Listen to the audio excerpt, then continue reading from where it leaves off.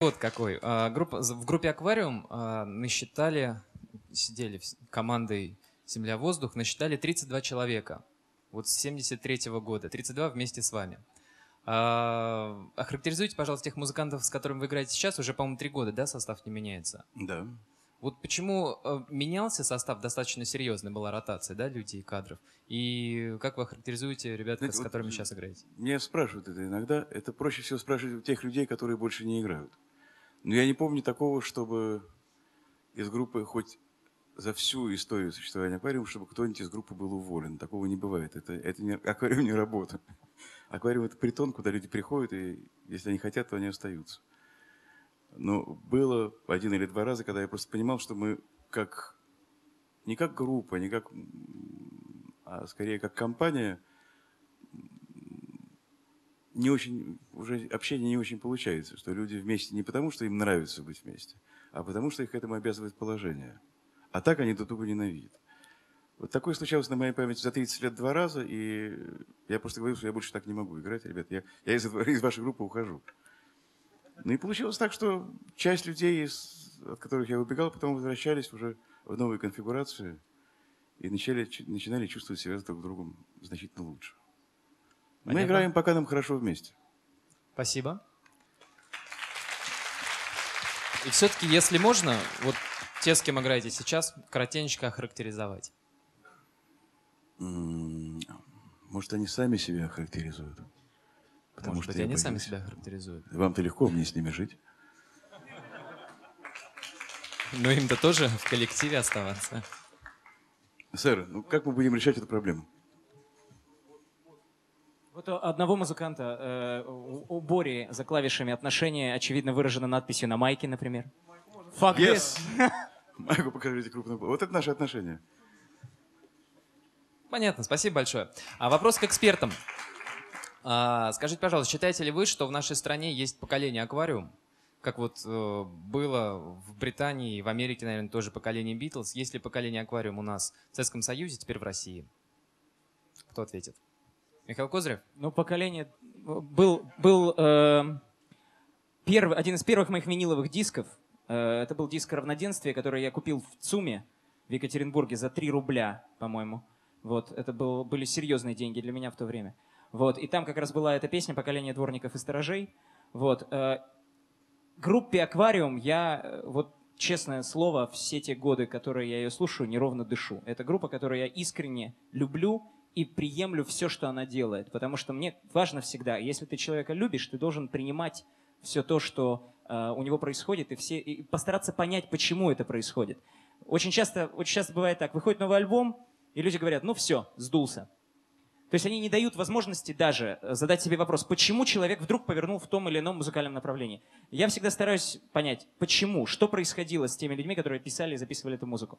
Вот, если э, судить о том, сколько нас таких влюбленных в этот коллектив многие годы, я не знаю, сегодня я думаю, что относительно уже немного. И я говорю э, это с сожалением еще потому, потому что, еще раз подчеркиваю, ситуация далеко не такая благостная, какой она сейчас представляется. Мне очень радостно, что люди сегодня, у нас такая, такого битка в студии, по-моему, не было с самого начала этих серий, и люди так честно и радостно приветствуют эту музыку, хотя на самом деле это не так. Мне кажется, что сегодня мы привыкли к такому фастфуду, да, Выпекли хит, выбросили на радио, выпекли хит, еще один выбросили. И пройдет время, прежде чем понять, что вот эти песни, которые происходят все это время в аквариуме, они как раз это, это испытание временем выдержат, а все остальное сольется как шелуха. И мне очень хотелось бы, чтобы таких людей сегодня было много.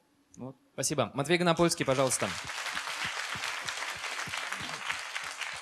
Вот здесь у Миши Козырева звучал пламенный призыв, чтобы музыка Гребенщикова звучала больше, шире, глубже. А, на эхе-то Москвы она звучит больше, наверное, чем на других радиостанциях. Это связано с тем, что ну, станция разговорного формата, и у нас каждая мелодия, которую мы ставим, она, э, только поймите меня правильно, имеет как бы прикладное значение. То есть она ассоциативно должна лечь на материал. И вот э, с грустью я замечаю, что таких поводов относительно аквариума становится все меньше и меньше.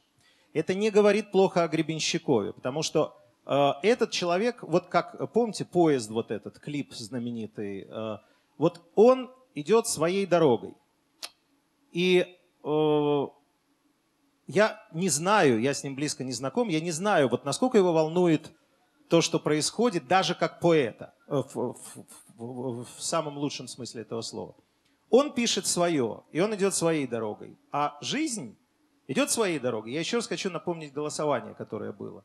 Давайте заодно пока посмотрим. Я, я можно одну секундочку? А, Андрей, конечно. позвольте. Я, просто, я такое ощущение, что вот первая песня была 500, да? Более жесткой политической песни я за последние годы просто не слышал. Патриотизм значит убей иноверца, эта стрела проходит через мое сердце. Да, наша родина жрет свои, как свинья жрет своих сыновей. Да. Такое ощущение, что мы текст не слышали. Это же песня, которую я честно говорю, я до сих пор, мне стыдно, что я ее испугался играть на нашем радио.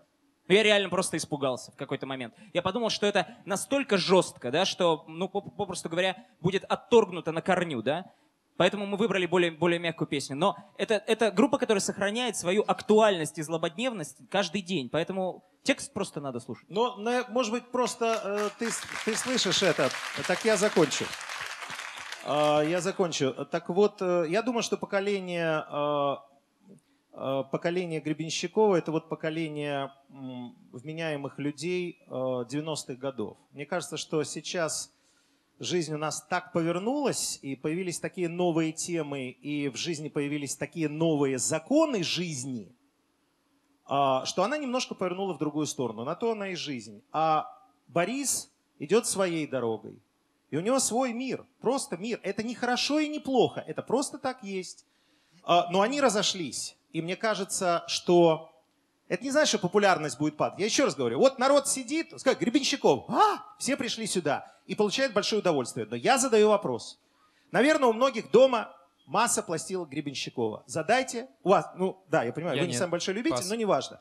А, Миша Козырев, дорогой мой, много пластинок дома Гребенщикова? Дофига, и еще Дофига. больше а теперь будет ответь на вопрос, только посмотри в глаза мне. Смотришь в глаза. Насколько часто ты их слушаешь? Сейчас Внимание. «Сестра Хаус» последний альбом. Да. Слушаю очень часто. Очень Да. часто. Вот Ну ладно, последний я. Я думаю, могу что я могу дома они, сказать- в общем, Я, музей. я думаю, что это Я могу на самом сказать, деле... у меня одна пластинка Гребенщикова, я скажу, какая, где он поет Вертинского. Вот это мне единственное, что очень нравится. Я считаю, это супер. Если честно, наличие пластинки не говорит о том, что вот есть пластинка, значит будешь ее дома слушать. У меня куча пластинок дома, которые я слушаю раз в год, при этом любимые пластинки. Это банально во время, опять же, упирается. Э, Еще раз отвечу окончательно на вопрос. Э, Это поколение 90-х годов. Э, Потом они разъехались, как вот этот поезд и жизнь. Он поет о своем, и у него там много есть в чем разбираться. Все его песни совершенно фантастические. Вот он в них разбирается. А жизнь разбирается в своем. Сейчас, в 2002 году. Вот так они разошлись. Это мое ощущение. Спасибо большое, Вот. Матвей. Э, Продолжим дискуссию. Тогда после песни, пожалуйста, Борис Борисович. Знаете, я с самого начала передачи думал, как же нам выйти из этого неудобного положения, когда все друг другу говорят хорошо. А, Я уже говорил, что как, ну, я думал, может быть, нам что-нибудь это сделать, что-нибудь это сделать. А потом, когда вот мы «Северный цвет» сейчас пели, я пою, и у меня в голове промелькнула как бы очевидная вещь, что красоты на самом деле и жизни так много, что нашей человеческой жизни не хватает. У нас, у нас очень мало времени. И времени с каждой секундой все меньше и меньше. Поэтому чем больше занимаешься базаром, тем меньше остается времени на настоящую жизнь.